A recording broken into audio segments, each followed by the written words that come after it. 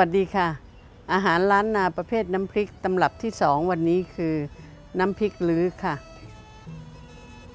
น้ำพริกลื้อเป็นเครื่องจิ้มที่มีเนื้อสัตว์เป็นส่วนผสมมากที่สุด คล้ายๆ ลาบคั่ว แต่กลิ่นรสต่างกัน เนื้อสัมผัส ร่วนรสเค็มเผ็ดเล็กน้อย เก็บได้นาน 7-10 วัน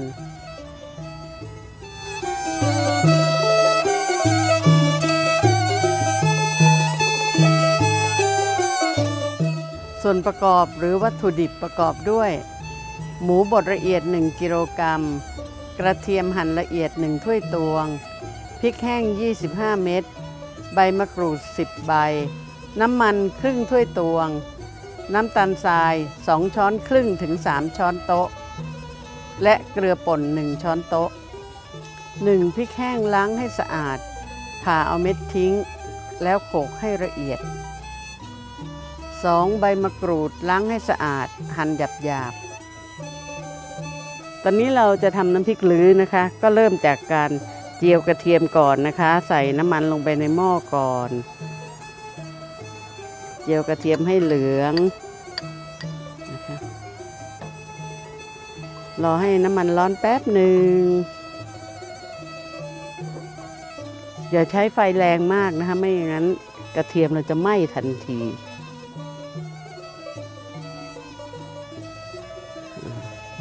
เริ่มแล้วนะคะ เราก็เอากระเทียมลงค่ะ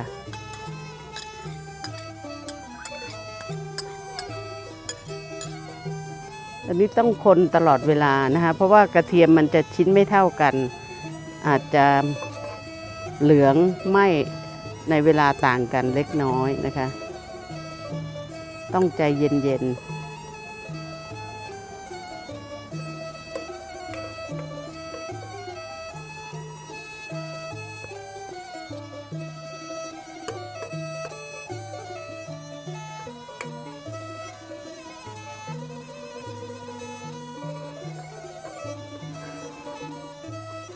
ตอนเริ่มต้นนี่จะใช้เวลานิดนึงนะคะ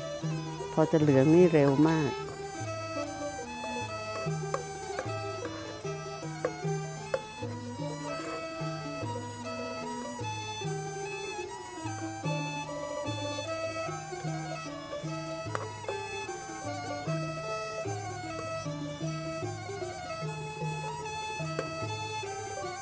เราต้องคนตลอดเวลานะคะไม่ให้มัน ไหม้ด้า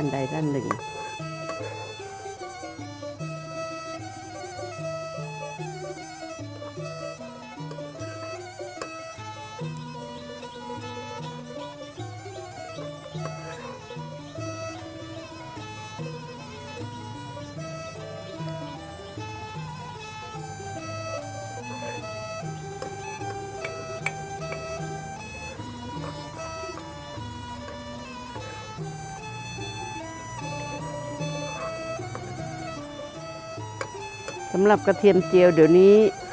มีกระเทียมเจียวสำเร็จรูปขายเยอะแยะนะคะแต่กลิ่นหอมจะไม่ค่อยมี เพราะฉะนั้นถ้าเผื่อว่าเราจะทำเองใหม่ ๆ ก็จะได้กลิ่นหอมดีกว่า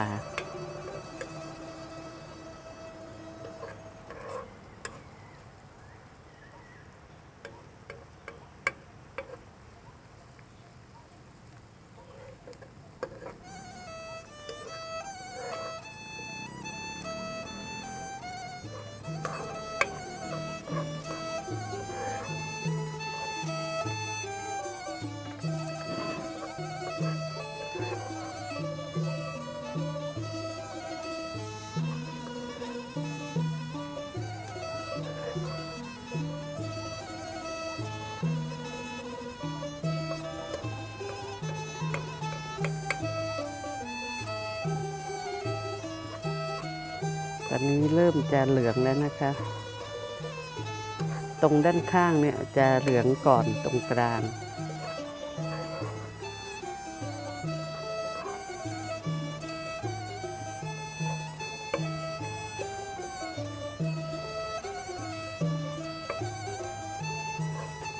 จากนั้นเราจะตักกระเทียมพักไว้ก่อนนะคะ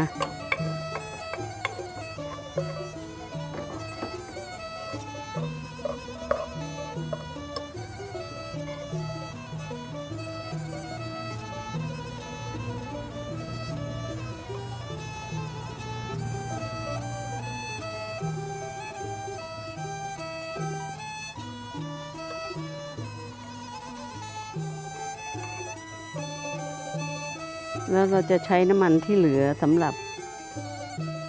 ทอดใบมะกรูดต่อ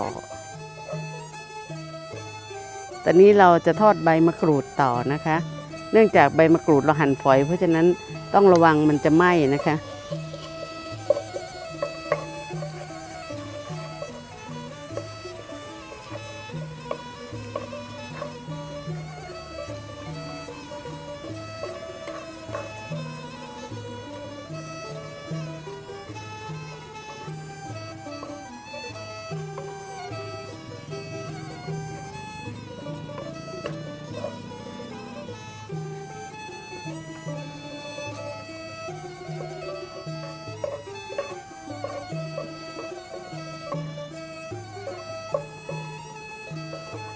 จากนั้นก็ตักใบมะกรูดขึ้นพักไว้นะคะ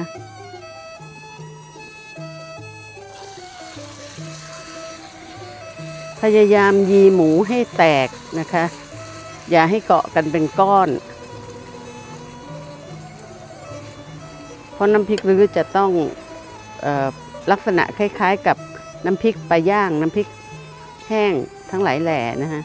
คือหมูจะต้องแตกออกจากกัน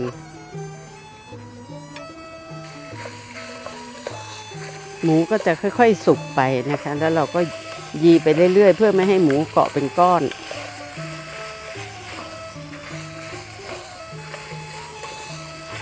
ทำน้ำพริกลื้อนี่ต้องใจเย็นๆนะ ใช้เวลาพอสมควรนะคะ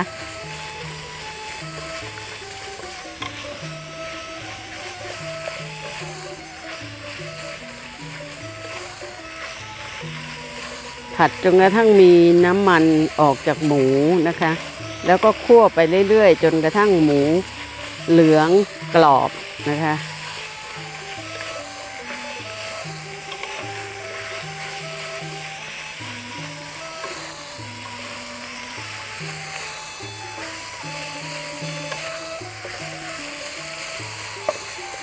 เราจะเห็นว่าหมูไม่เกาะกันเป็นก้อนแล้วนะคะ ตอนนี้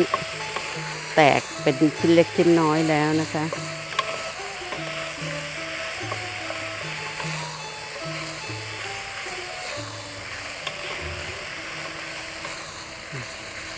แล้วเราก็จะผัดอย่างนี้ไปจนกระทั่งหมูเหลืองและกรอบดีนะคะ แล้วถึงจะใส่เครื่องปรุงรสอื่นๆตามมา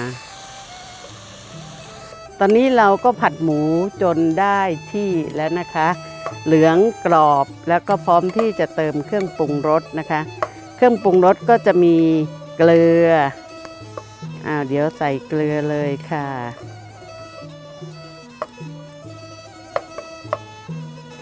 แล้วเราก็ต้องคนไปให้ทั่วนะคะ เพราะว่าลักษณะน้ำพริกมันจะแห้ง เพราะฉะนั้นต้องช่วยให้เครื่องปรุงเนี่ยทั่วกัน จากนั้นก็เป็นน้ำตาลตัดรสเล็กน้อย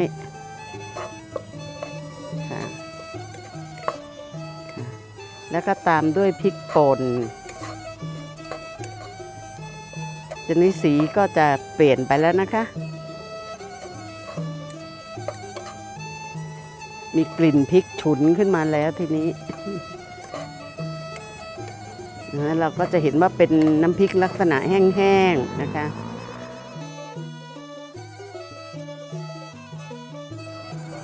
ถ้าเผื่อต้นตำรับจริงๆ ก็มีเท่านี้ค่ะ แต่ว่า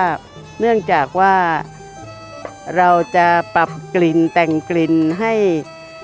ถูกกับความต้องการความชอบของคนไทยนะคะ เราก็จะเติม ใบมะกรูดที่ทอดไว้เมื่อสักครู่กับกระเทียมนะคะ จะผสมลงไปทำให้มีกลิ่นหอม แล้วก็กระเทียมค่ะโอเค